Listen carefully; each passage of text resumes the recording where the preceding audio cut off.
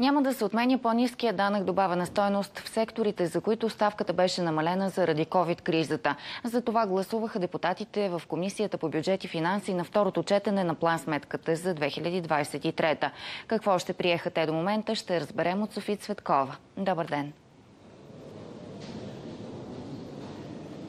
Добър ден от Народното събрание. Четвърти час бюджетната комисия разглежда на второ четене проекта на държавен бюджет за 2023 година. В него се предвижда дефицит от 3%, а без да бъдат ограничавани социалните плащания и без да бъдат увеличавани данъците.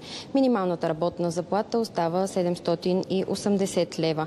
Иначе до този момент в бюджетна комисия народните представители одобриха 10% увеличение на възнагражденията в МВР МВР, 11 милиона лева ще бъдат отпуснати за работещите в Главна дирекция охрана и Главна дирекция изпълнение на наказанията към Министерството на правосъдието. Ще бъдат отпуснати и допълнителни 75 милиона лева за военнослужащите.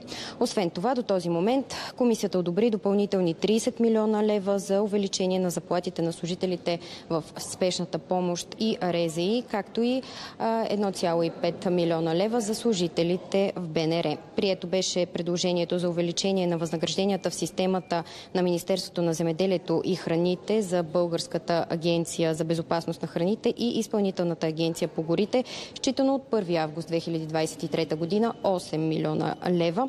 Депутатите одобриха и 20 милиона лева компенсации за земеделските производители, които са загубили продукцията си в началото на годината поради лоши метеорологични условия одобриха и 25 милиона лева за служителите в НАП и митници. Повече вижте.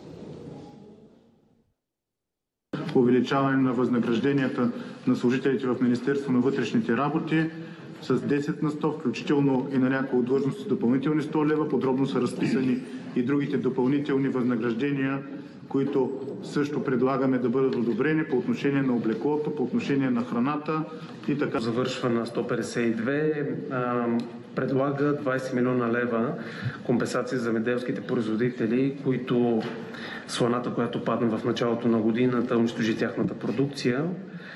А, това беше периода, в който всъщност те нямаха възможност да застраховат а, своята продукция. Това е предложението 152.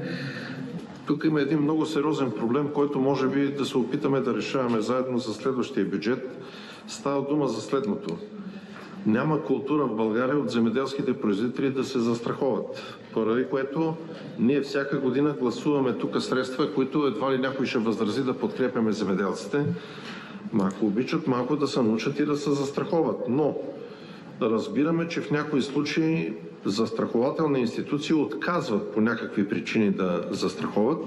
Въпросът е българската държава може ли да предприеме регулативни мерки съобразно европейската практика, дали можем все пак да ограничаваме този избор на застрахователите Рекордните 84 предложения за поправки внесоха народните представители между двете четения. Припомням, че на 12 юли парламента прие на първо четене държавния бюджет с подкрепата на ГЕРБ СДС продължаваме промяната Демократична България и ДПС. Против гласуваха от БСП Възраждане и има такъв народ. Тази седмица се очаква бюджета да влезе и на второ четене в зала, където окончателно да бъдат уточнени финансите на държавата на държавата по пера. София Цветкова с информация за приемането на държавния бюджет. Благодарим ти.